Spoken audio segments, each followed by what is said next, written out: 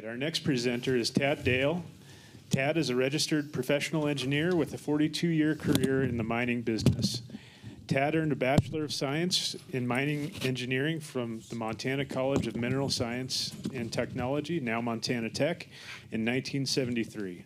Before his retirement in 2015, Tad was employed by numerous companies, including Anaconda Company, Pfizer, Pegasus Gold, and Montana Resources, as well as a consultant on a variety of projects. He's also been a member of the Society of Mining Engineers, holds a first-class blaster's license, has been on the executive board of Montana Tech, the Montana Tech Foundation Board, and in 2000 received the Dis- Distinguished Alumni Award from Montana Tech.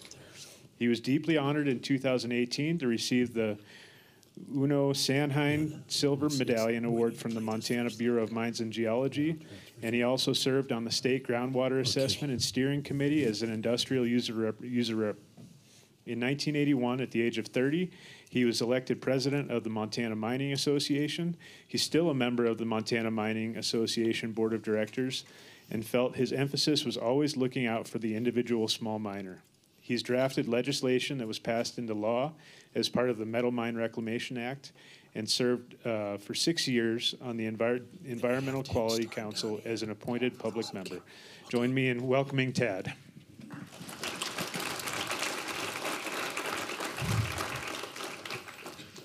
Oh, thank you very much. It's kind of just a little bit off the beaten path of what this conference usually talks about. But Susie called me and she said, "Hey, would you do a talk on how do some miners from Twin Bridges, Montana, get on TV?"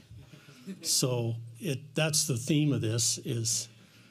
And uh, since I only have 30 minutes, um, I've got some video which um, is a little bit different than if anybody's. How many in this room saw any of? It was called American Gold: The Legend of Bear Gulch. A few of you have. so, um, of course, all of the uh, discs that we or the the sessions that we there were 20 uh, discs, two seasons, 10 each season, and all of that information was protected by the by the guys who once you put the mic on and start the day filming, they own everything. They own everything you say, everything you do. So, um, it, in a roundabout way, we got it. We got some video on here. Um, so, to answer the question that Susie asked me is, how did we get on TV? Um, I I have a lot of my family came to support me today, and I have four brothers and four out of the five of us are mining engineers, and my brother John's probably the, better, the best miner in the bunch. So, uh, and then there's he has two sons, brother John, mining engineers. I have a daughter that's a mining engineer. So, there's eight of the Dale family that graduated from Montana Tech in mining engineering. So, we had. Um, the, they came to us. We didn't go seeking it out. In fact, they told us, "You guys, you don't have any understanding of how many people want to get on TV, and you guys are kind of backing up." And the thing that that hooked us was they said, "Well, we'd help you fil- or fund a mining budget." Ah, okay, now you're talking our business. So, so we worked out a deal with them, and um, it, that was with Warm Springs Productions, who's out of Montana and then they eventually um, i'm going to show this they called a sizzle reel you'd call it a trailer and they did that in 2019 and then they went shopping and fox business picked it up which is when they told me i said neil cavuto you know what does that have to do with but fox was trying a new venue and uh, we were one of the five programs that they picked out of. I don't know how many they looked at. So that's how the Genesis how it started, and they we had two years, and um, so that was 20 episodes. Uh, we we had a great time. We got some things done. We we had enough money to hire some contractors. Um, there's a lot of you know we're all in, in our 60s or 70s, so it, you know, that kind of running a jackleg isn't our idea of fun. But uh, and and one of the things that they liked about it was when COVID was at its peak and a lot of the um, production shows had been shut down. I'm sure you know I, it's kind of a God thing to me that how they came about this, but and so they needed something out in the boondocks, and here we were out in Montana in the middle of nowhere with with a lot of private land, and they didn't have to get permission from anybody, so it was a plus on their side and a plus on our side because we had all these dreams and we sat around the table and we drank a little bit of whiskey too, talking about what we were going to do, and and this gave us an opportunity and some money to to uh, pursue some of that because frankly you're not going to sit around the five of us and kick 20,000 bucks in a kitty and say let's go mining. I mean you, you the old saying you mine till you go broke. So anyway it was a, it was a win-win for all of us but so i'm going to start with the trailer and then uh, get into some some of the activities that we did and one of the things that I, we, I think we're all proud of, we opened up a mine adit that had been abandoned, or it had uh, been abandoned, but the, the weather had gotten it and it was all caved in. And it, but the brow of the hill, the hard rock, was probably close to 100 feet or 75 feet from where we felt it was safe to start working because the it, sides of the hill came in on it. And um, we decided that if we, my son is a very good equipment operator. Well, so is so is Brian, another son, my brother's son. But we he made he got up, kind of made himself a dirt pedestal, and then dug down in the rock face until he broke into the old adit, and then started pulling muck out of there. And it, it unfortunately, it was wet, and to dig blind and try to dig track grade is quite a feat. So we pre-constructed the mine sets. and a mine set, to any of you who don't know, is a two posts and a cap separated by a standard mine set is like a little over five feet. And so two posts and a cap and two posts and a cap make your mine set. And and then lagging is just rough lumber, pretty heavy, to enclose yourself so you're working under safety. And so we, we prefab those on the dump, and then we, we chained them up and hauled them in, and with my son with this, the excavator swung them in place, and we set them in, and we basically built from the, from the mountain out. Because if we'd have done it the other way, we'd have, we'd have had to muck for 75 feet and so and not been safe. So that was kind of innovative for for small mines, and that's my contribution to the mine design conference.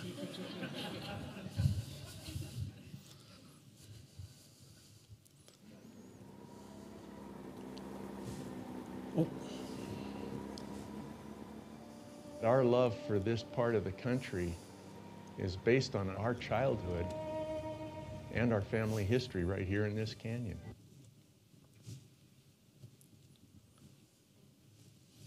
Uncle's born. It's a family legacy going back three, four generations now. This has been our home and our family's home forever. The land itself is part of me. It makes up who I am. My granddad, my dad, my uncles, they were miners. They were the ones that taught us the ABCs in mining. We all made good livings through our careers, working somebody else's dream. But we wanted to have our opportunities to pursue the family legacy. We formed this family held corporation. Each one of us had to kick in our life savings, really. We started buying these mining claims in our backyard here. And we basically bought our legacy back. We walked over all these claims since we were little kids, but we didn't own them. And now we own them. If you tallied up all the claims, it's probably five, 600 acres. And so there are all these possibilities out there on both sides of the valley in three mountain ranges. The past generation left a lot of gold in these mountains. And that's what we would like to get is the rest of that gold. Our dad told us a story about a rich vein of ore, What's this stuff here? Paul, can you shine your light on this? And nobody to this day has ever mined through there. If it lives up to its reputation, it would be a life-changing type of find. Could be the saving grace for the next generation. Holy smokes. We're hoping to pass on this legacy of Bear Gulch to the next generation. Hard to believe that it hadn't been open in how many years? Over hundred. It is my responsibility as the fifth generation to keep this legacy and this dream going. Look at all these legends that we've heard for years and years, and here it is. This portal's been closed for 80 years. It caved in here at the surface. Mandatory that we get this open back up and rehab it. It could be just a little pot of ore that mean nothing. But we owe it to our family heritage to find out. We need to put this to rest. Our grandfather mined up and down this gulch. My dad and his brothers, and my mom's dad and her brothers mined here. It's in our blood. Hitting it rich is something that drives everybody. And you're hoping you open the treasure chest. Fire in the hole!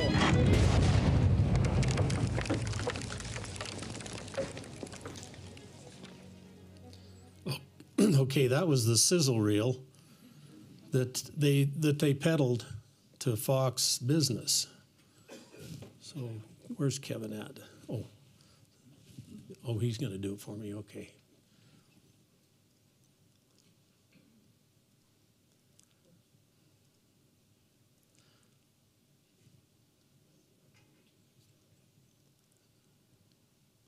I think you have to go back to the, well, there you go. It takes a little time. And then hit enter twice. Dick was my dad, our dad, so. These are snippets taken off of the. Group of brothers, episodes. we got these mining properties that we acquired. Let's talk about what we can do with our limited budget. Well, the biggest deal would be to open up the mountain. Rick, John, Tad, Paul, and Kit Dale have a lot on their table. After 40 years working for mining companies around the world, they've come home to Bear Gulch, Montana, and pooled their life savings to purchase over 60 abandoned mine claims here.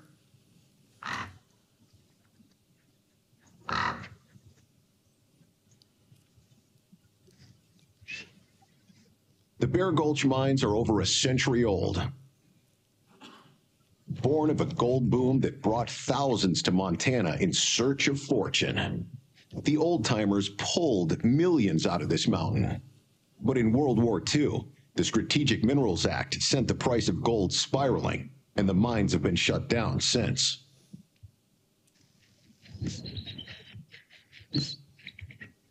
We researched all the historical information, built models, and identified what we believe is another ore body that was never developed. There were early mines all over the mountain that had very rich veins of gold, small, but extremely high grade. And like fingers on a hand, those come back to a feeder system. The deep ore, the feeder system, it's worth tens of millions of dollars. But it takes a lot of money to get that out. And that's The Dales estimate it will cost half a million dollars to reach the deep ore. Money they don't have. We all know that mining is capital intensive, and we have the resource, we have the property. What we don't have is a big pocketbook of money. We combined our assets and actually had to mortgage some, some of our properties and homes. So we, we have a finite budget that we're working off of. If we could get a showing and get a little money in the kitty, you know, then we could start looking at bigger things. So the, the best story, as we all know, is Ole's oh, gold. Well, now that the, the family has acquired these patented mining claims, we have a, a long-range plan. The first part of that is to look for Ole's gold.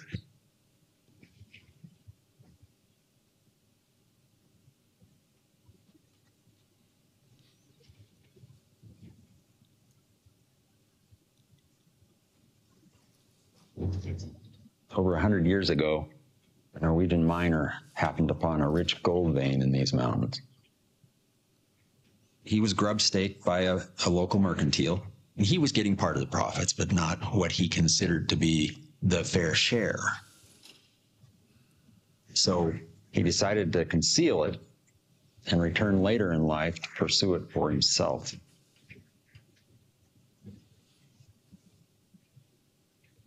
Ole died before he had an opportunity to go back on his own and, and get that. Ole was a friend of the family. Before he died, he passed along the location of this gold deposit to our grandfather and to our father, who knew these mines well, and they in turn passed it along to us. We're trying to prove out one of these family stories. Is it true?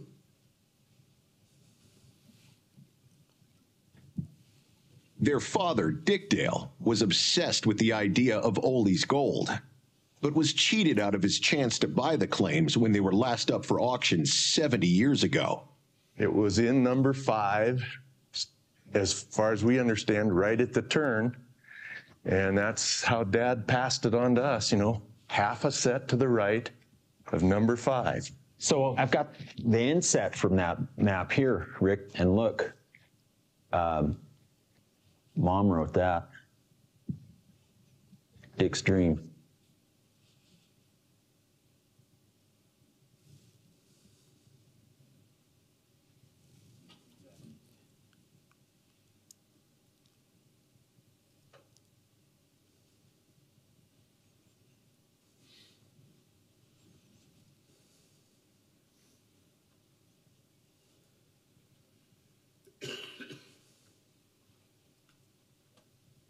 You're going to spend the rest of your life working your idea or working somebody else's. Got to decide what you want to do. All of us work for mining companies all of our lives. Now we're working our idea. In Bear Gulch, Montana, on the 9,000 foot high slopes of the Tobacco Root Mountains, there's a network of long abandoned mines where no one's found gold in decades. But veteran miners, the Dale brothers, just bought them all. We walked over all these claims since we were little kids, but we didn't own them. And now we own them. They grew up here, and they're convinced that the old timers who gave up on these mines missed one of the largest untapped gold structures in the lower 48. The past generation left a lot of gold in these mountains. Tens of millions of dollars, even after all the investment. Reaching the deep ore will cost a fortune, but the Dales have an ace in the hole. They've guarded a family legend for three generations of a rich gold vein hidden near the surface of the mountain. And only they know where to find it. If we could get to that, life changing. Now, to launch a family empire, they're betting everything. Good luck. That the legend they've believed all their lives. Now, I'll bet you that's the hard stuff. Look at that. This could be it. Is true. Three, two, one. Here we go. Fire in the hole.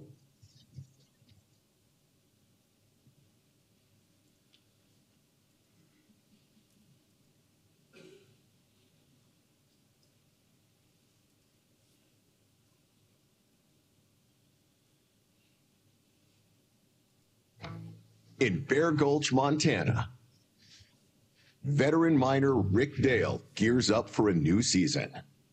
we're getting started today. We've got some pretty high hopes for this year. Our excitement level's been building all winter. We're ready to start in earnest actual mining. When you're a miner, that's a pretty good, a pretty good thing.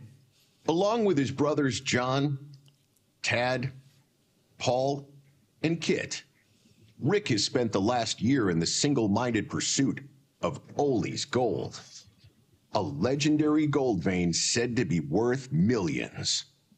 Over a hundred years ago, a Norwegian miner happened upon a rich gold vein in these mountains. He was grub staked by a, a local mercantile, and he was getting part of the profits, but not what he considered to be the fair share.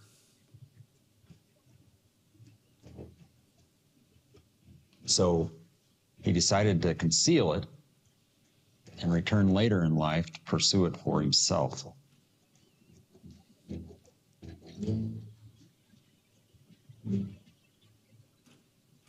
Ole died before he had an opportunity to go back on his own and get that.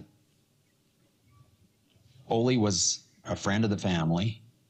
Before he died, he passed along the location of this gold deposit to our grandfather and to our father, who knew these mines well, and they in turn passed it along to us. So through four generations in a hundred years, we finally not only knew about the legend, but we owned the claim. The brothers recently bought over 60 mining claims spread across 800 acres in the Tobacco Root Mountains of southwest Montana. We bought these claims together, and it was a big strain on all of us. A lot of money, second mortgages were taken to acquire the property. That's a big gamble. It's kind of a make or break situation for us. If we don't come up with something, this could be our last season. The purchase fulfills a family legacy that's been in the making for most of the brothers' lives. Our childhood was centered around Bear Gulch. It was a great place to grow up. I mean, we were really excited about finally getting ownership. Basically, it's our heritage. We all worked in various mining operations, major corporations in some cases, and we were always working for somebody else. And now that we're all back here, this is ours. I'm loaded up and I'm ready to go.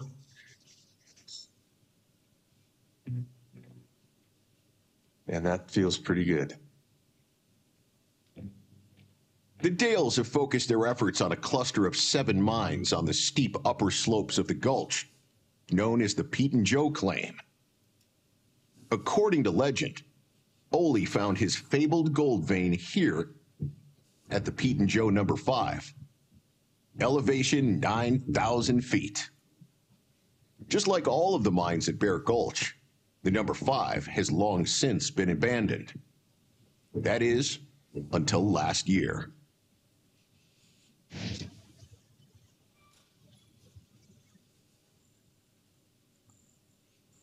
We were close. We were damn close to Ole's gold. Really disappointing. Early in the year,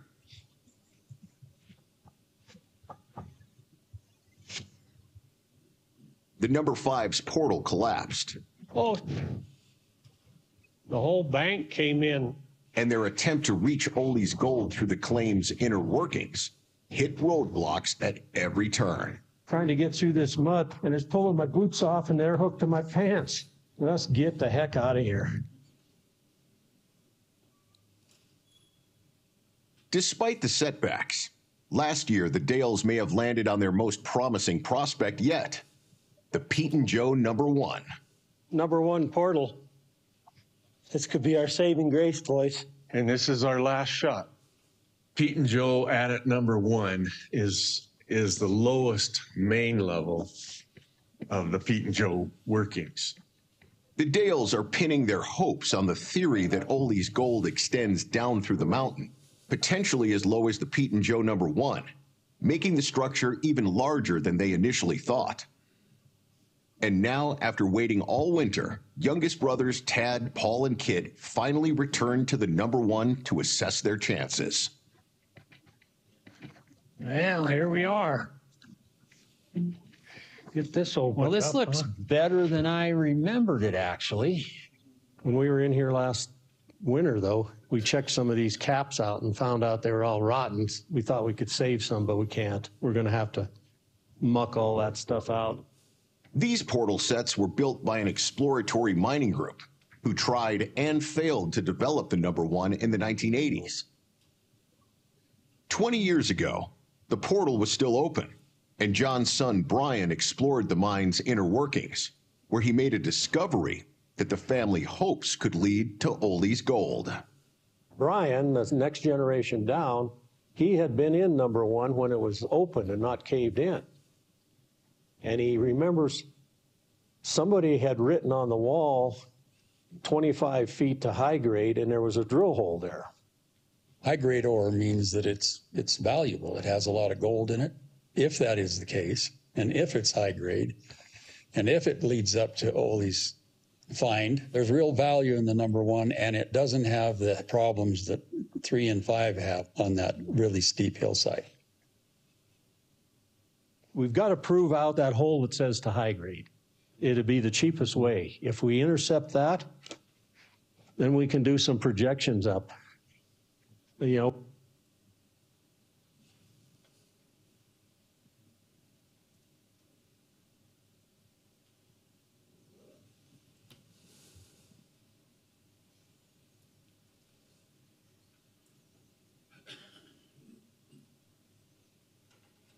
Number one is a 250 foot long adit carved in sturdy bedrock. And the family believes they can reach Ole's gold by extending the tunnel 25 feet. But the portal is collapsed, and replacing it is easier said than done.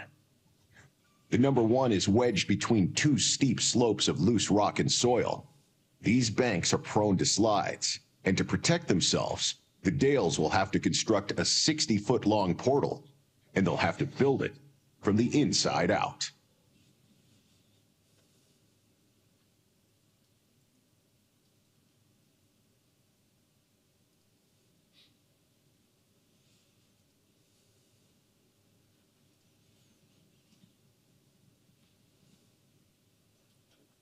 To find Ole's gold, we've gone at it from several different avenues now. We've jumped from the five to the three and now down to the one. Three, two, one.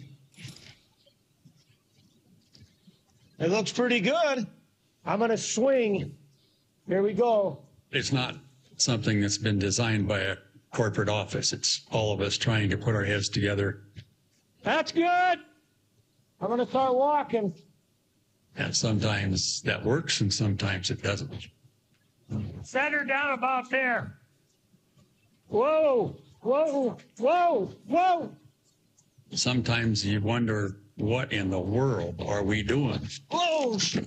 Can we just pop it? But we're having fun. Nicely done. Sorry, sorry, boys. Holy. We're gonna get this thing set by the skin of our teeth.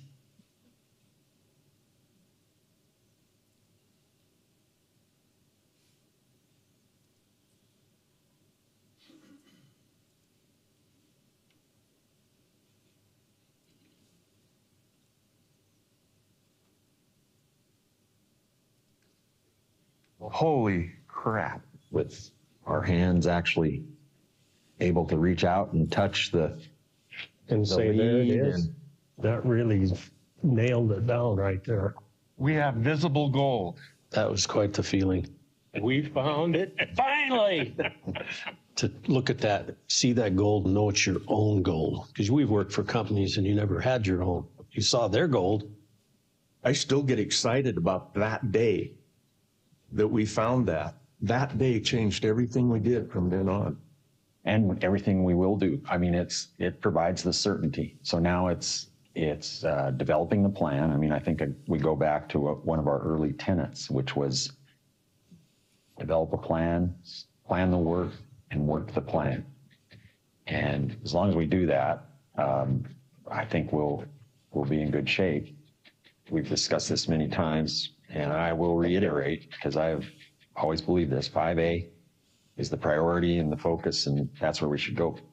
I'm totally with you on the 5A being the priority, but because there's five of us, we do have the opportunity, like for instance, the ice and the B and H, let's, we're gonna handle that come hell or high water next. Hopefully it's high water. We get the damn thing melted and get it out of there. And once and for all, find that page connection.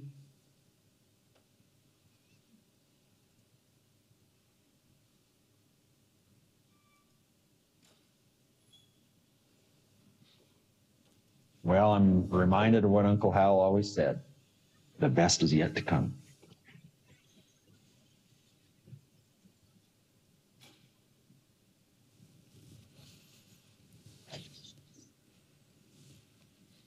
Okay, that was uh, gives you an idea of what two seasons of work did, and it was exciting to work with each other. Um, five guys working together. You don't always get along, but we were pretty careful not to put it on the tape that was strapped our, to our hip because uh, they were into drama and we weren't.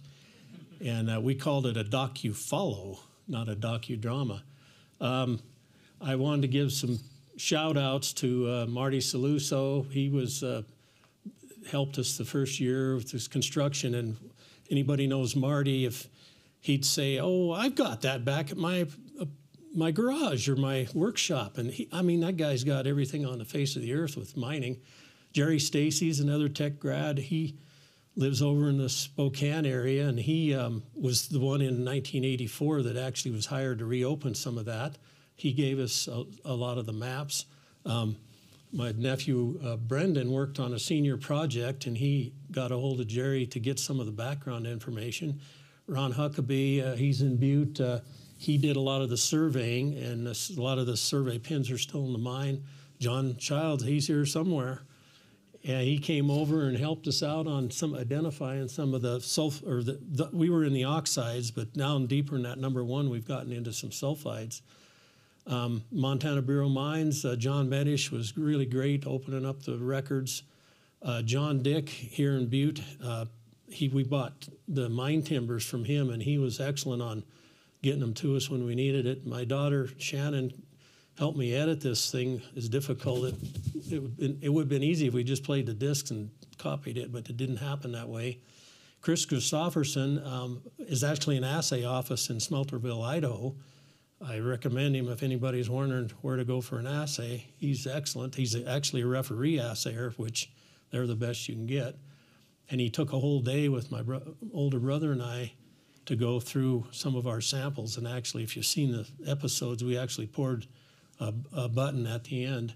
And Dirk Gibson it was actually, he's out of Great Falls, was the idea man that came up uh, to begin with. Actually, he, he had got a hold of my son and uh, some other people, uh, friends, were doing an extreme snowmobile show.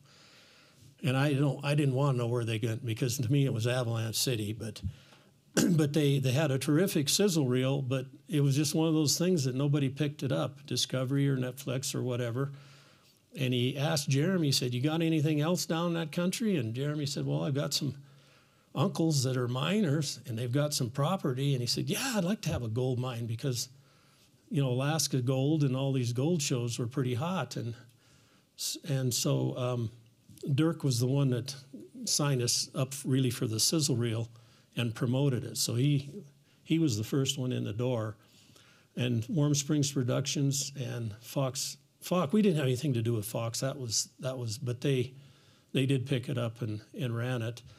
And um, one other name that I missed on here, and I got thinking this morning, was uh, Frank Reed. He actually is a, a cat skinner in the Butte mine here. He's from Twin Bridges, a good friend, and he showed up on the property a couple days and uh, actually bladed a fine grade on our, our road. So, so those are people that helped us. Uh, couple, there's some redundancy as you saw in some of those cl- clips. There was one real error to anybody that knows that the Strategic Minerals Act of World War II, the price of gold did not go up and shut down the gold mines. It was because it was a non-essential mineral under the War Powers Act that shut down all of the gold mines. If, if, if that was your primary product out of a mine, they, they were all shut down. And it, it did change the world forever, obviously World War II, but in my mind, it actually left a lot of gold out there for the sec- this generation of miners.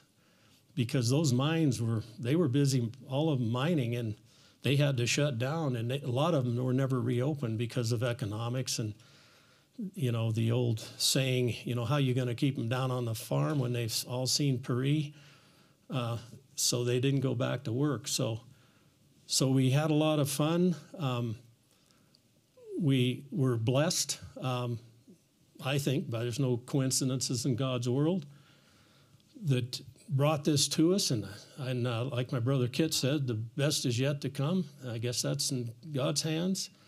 Um, one of the things that we, when we first started this program, after watching all those Alaska gold shows, is we had some goals. One was to not have any profanity or as little as we could because we wanted it a family show. Two was to promote Montana Tech. And, you know, three, to show that basically the mining industry is in well you saw a pick and shovel miner but that's not the way it is today and uh, in fact one one time we were in our tent or going over some maps and film crew wanted to do something we say hey you know you guys we do have computers and we've got some calculators here so i mean it's uh, so it was interesting all five of us kicking in on on the ideas, and um, we're I think we're really proud of what we did. It gave us uh, a new feeling for for our childhood and set us up, in my mind, for a decision that we all have to make again if we want to proceed with. We it's going to take enough. Mo- it's going to take money, so that's like a third party, and to develop it to its full extent but I've le- read a lot of reports, history, historical reports, and I have to say, and my family and my dad and my granddad were all pragmatic. They were not rainbow chasers. And we were all raised that way. But I have never been discouraged by any of the reports I've ever read.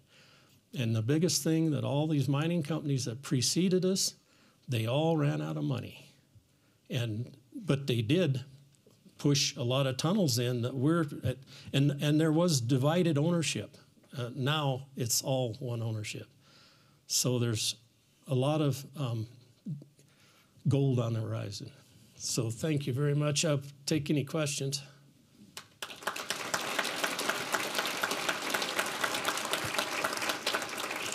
Yeah, thanks, Tad. I think we'll just do maybe two questions, and we're running a little bit late for lunch, but we'll take a couple questions for Tad, and then additional questions. You'll have to chase them down at lunch or something.